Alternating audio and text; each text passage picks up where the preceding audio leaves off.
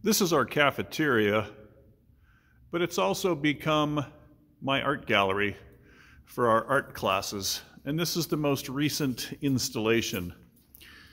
It is a self-portrait, mine's at the lower right corner there, to use as an example, of all of our students that are in art this year. I've taken individual photos of these, but I thought I would just walk through and do a quick gallery showing as a showcase. That's my third period class. And then further down the wall, my fourth period class.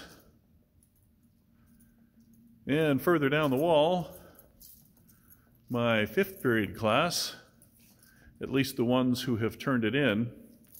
And then finally, my largest class of the day, my sixth period class. This represents about two thirds of the students who completed the project and turned them in.